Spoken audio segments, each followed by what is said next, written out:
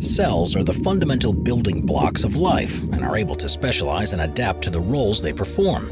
Every living organism on Earth is made up of cells, from unusual shapes and sizes to those you'll want to avoid at all costs. Let's take a look at 15 strange looking cells. Number 15. Bubble algae. Amazingly, there are 37 trillion cells in a human and 5 million in a fly. But just because most cells are microscopic, it doesn't mean that all of them are.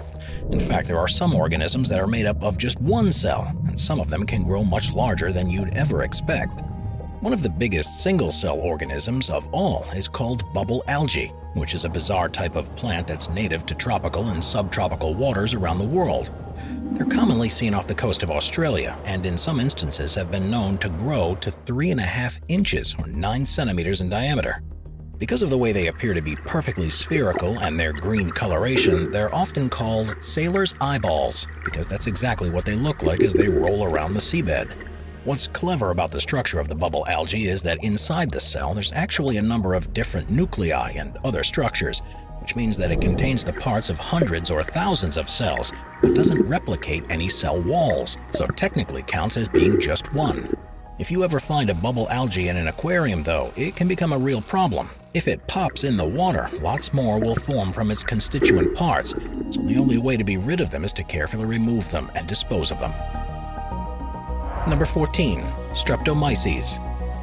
We've all noticed that smell in the air after it's been raining and think of it as the scent of dirt or mud. But what you're actually sensing is the aroma of a type of bacteria that lives in the ground called Streptomyces. Those that live in the soil produce a substance called geosmin, and it's this that we associate to be the smell of mud. Because of the bacteria, it's high in concentrations in vegetables like beetroot, and is also why fish and water may sometimes have an earthy flavor to them. We are extremely sensitive to the presence of geosmin, something that's thought to have evolved because it alerts us to the potential presence of fertile soil and water. This bacteria is perfectly adapted to thriving around vegetation and forms long filaments as part of a larger colony that collectively filter the environment for nutrients. There are actually more than 500 different known species of streptomyces, and they're the most common type of bacteria that are used in the production of antibacterial, antifungal, and antiparasitic compounds. Streptomyces also provide a number of benefits to certain animals too, with some species of fungus farming ants and beetles being known to cultivate the bacteria around their food stores in order to protect their supplies from other invaders. Number 13. T cells. The way that the different cells of the body work together to keep us fit and healthy is almost unbelievable. One of the cleverest and unusual looking of all are T cells. They make up part of what we call the white blood cells and are instrumental in our immune system because it's these that form the basis of our adaptive immune response. There are at least seven types of T cell, each of which has the same basic structure but behaves in a slightly different way. They're essentially the security guards of the body and monitor for the presence of problematic cells or unwanted viruses, whether they're free-floating and looking for a cell to infect, or even if they've already taken hold inside a cell. It is particularly impressive that T cells are able to tell the difference between a normal healthy cell and one that's infected or malfunctioning. And it's all to do with the detection of and the way the nodes and the surface of the T cell interact with various chemicals that healthy cells produce. If these are present, the T cell will ignore the cell, but if there's no trace, the T cell will instead activate the immune response, which will result in the target cell being destroyed. Number 12. Listeria monocytogenes. Listeria is a species of bacteria that can thrive just about anywhere, but when the unassuming infection finds its way into an animal cell, it transforms itself into something spectacular and equally as uncomfortable. It is one of the fastest spreading foodborne pathogens of all and will often develop in meat, raw milk, or soft cheeses, even when they're being kept in the refrigerator. Ingesting it can lead to food poisoning with flu-like symptoms, but it's also thought to be responsible for 260 deaths per year in the United States alone, because it's particularly risky for people with medical conditions. What's also clever about listeria is that despite looking uninteresting to begin with, it starts to transform itself once it's entered a target cell. It begins to harvest parts of the cell called actin and use this to build a protective layer around itself, and eventually a tail-like structure behind it. It uses this tail to propel itself around inside the host cell and begins to look like a comet moving around with a tail following it. Eventually, it will find the cell wall and push so hard against it that it will begin to protrude. And when another cell comes along and tries to eat the protrusion, the listeria then finds itself in a new place where it can start causing its destruction. Number 11. Neurons. Neurons are some of the most important parts of the anatomy of any living thing, because not only are they present inside the brain and responsible for sending signals, but they also perform the same role throughout the entire central nervous system. Made up of a central core where the cell body, with its nucleus, can be found, neurons also have long extensions called dendrites and a long fibrous strand called an axon, which itself can be several feet or up to a meter long in humans. At the end of the axon are axon terminals, and it's through these that signals can pass. There are actually three distinct types of neurons, and although they share the same basic structure, they're responsible for different operations. Sensory neurons are the ones that react when the sensory organs detect a stimulus, such as light in the eyes. They send a signal to the brain where the appropriate response is decided upon. Motor neurons work in the opposite way, in that they receive signals from the brain or the spinal cord and are responsible for triggering an action, such as activating a muscle or changing neurotransmitter production with an organ. The third type are called interneurons, and these are the ones that connect other neurons to each other in the same region and form groups that are called neural circuits. Number 10. Smooth muscle. Our bodies contain different types of muscle that are used in different situations, but the ones that have the strangest looking cells within them are smooth muscles. These are the types of muscle that you'll find in the walls of hollow organs such as your stomach or intestines, as well as around the body's passageways, like the blood and lymph vessels. Normally, a smooth muscle either fully contracts or relaxes as a whole, and it's much more elastic than other types of muscle. The cells that make up smooth muscles are called myocytes, and these are spindle-shaped, where they're wider at the middle and taper off towards each end. Each of these cells can actually act as a muscle in their own right and can either tense or relax and are able to change state surprisingly quickly. It's their fast response that makes these cells ideal for being responsible for changing the size of the iris in an eye, for example, as well as being the ones that can make your hair stand on end when you're cold or afraid.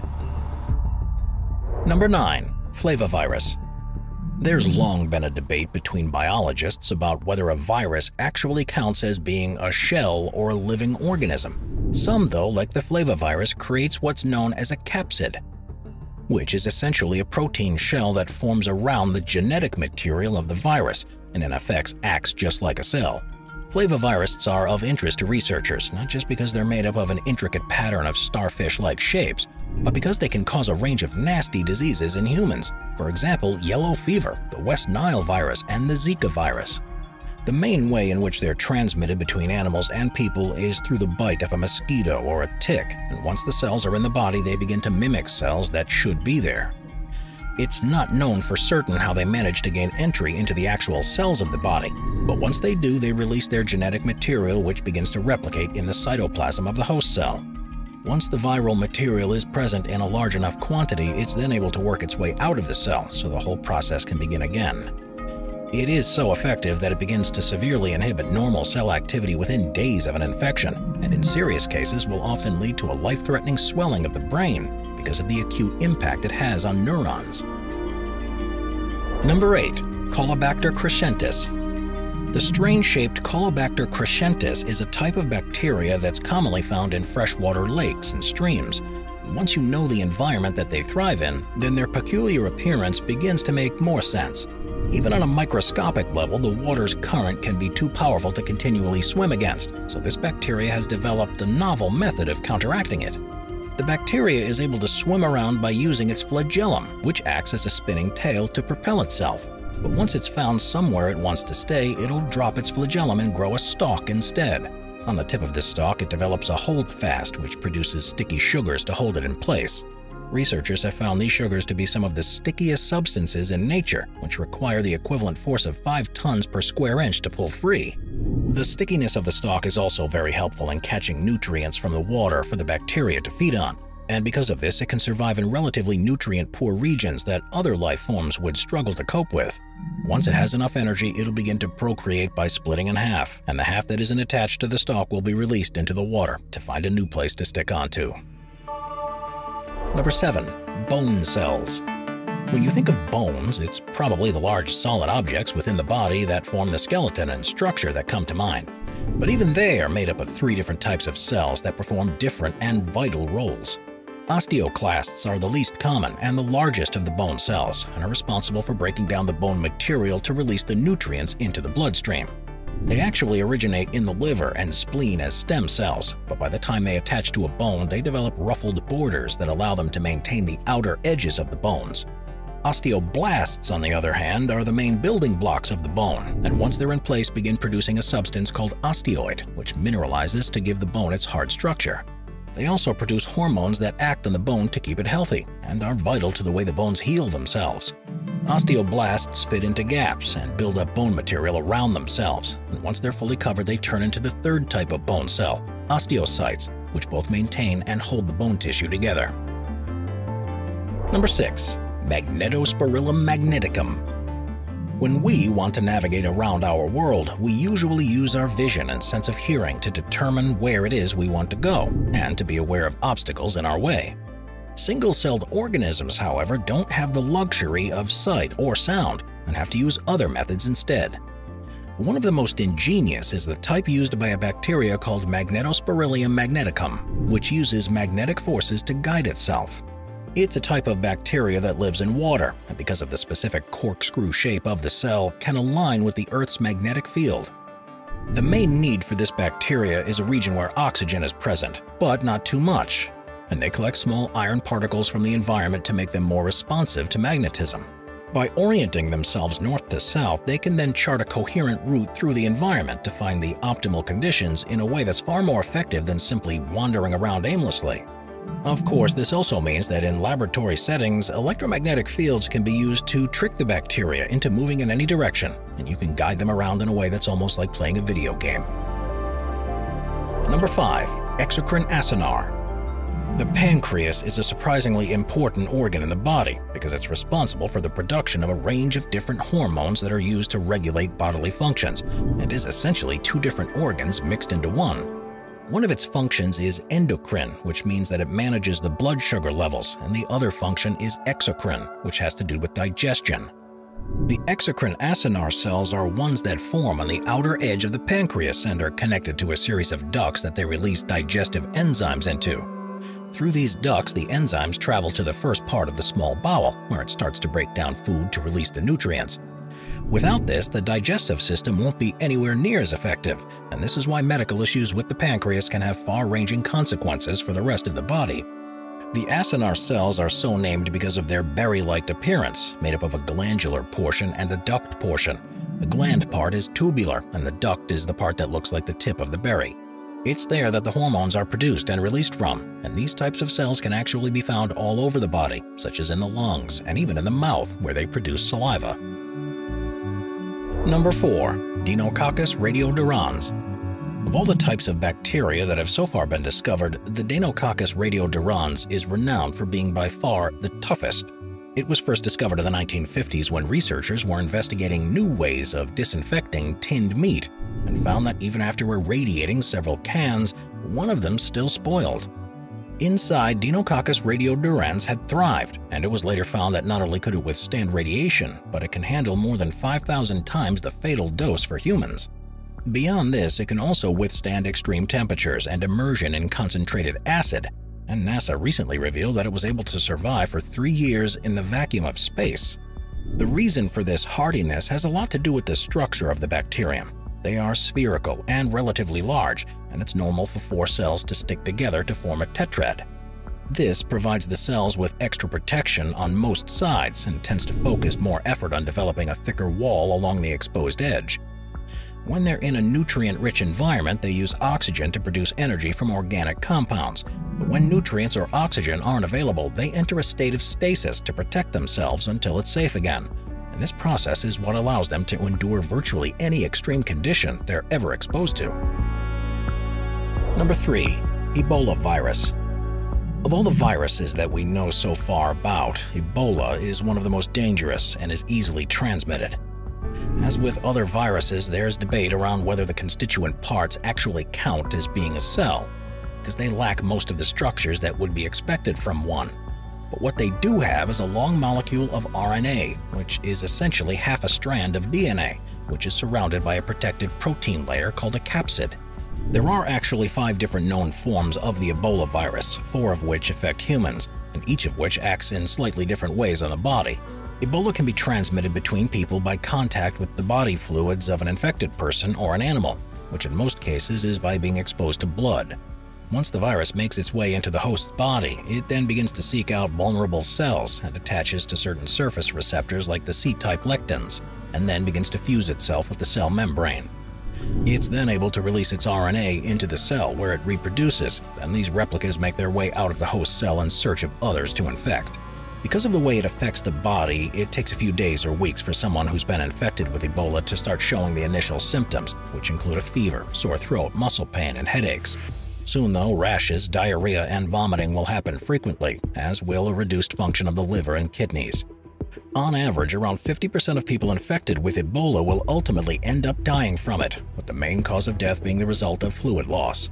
In many ways, it's hard to believe that something so small that looks like a couple of strands of hair can be so dangerous, and it's no wonder that whenever an outbreak is detected, every effort is made to quarantine the area to ensure it doesn't spread any further.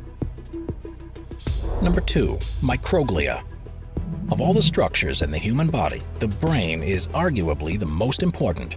It's from there that commands are sent through the central nervous system to ensure everything else is working properly. So in an effort to ensure the brain itself remains healthy, it has a special type of immune cell that's not found anywhere else. Known as microglia, they actually make up around 10% of the total number of cells in the brain. In their resting state, they look almost tree-shaped, but once they're activated, something happens if bacteria or even a pile of garbage protein is detected. They turn into fat blobs so they can consume any material that shouldn't be there. Amazingly, to perform this role, they are some of the most active cells in the brain and use their branches to connect with other cells so they know immediately if something's not right. It's only relatively recently that they've begun to become more fully understood, and their importance reaches far beyond simply preventing disease. They're also believed to be the gardeners of the brain and play a particularly crucial role at the start and end of life. As well as consuming pathogens, they also remove inactive synapses, which are the connections between the neurons.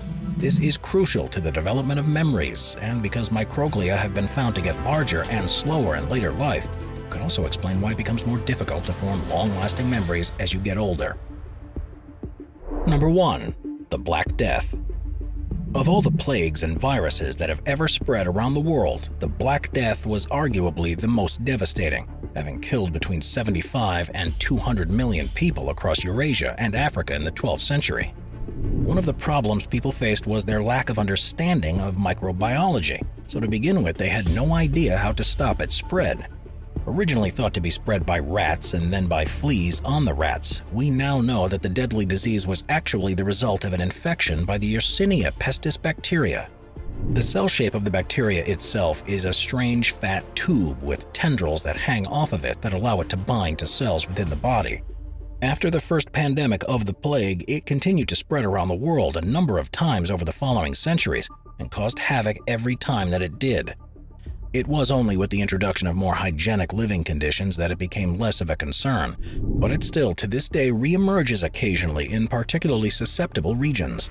What's quite concerning about the cell structure of this bacteria is that researchers have managed to determine what Yersinia pestis looked like during the first pandemic of the plague, and have found that the variants that are present today have evolved considerably. It's quite possible that it could develop resistance to the medications that are used to treat it, or to make it even more virulent. And if that happens, we could well be facing a new plague that's almost unstoppable. Watch our binge-watching playlist if you'd like to watch all of our most popular top 15 videos. Grab a drink, grab a snack, and get ready to binge.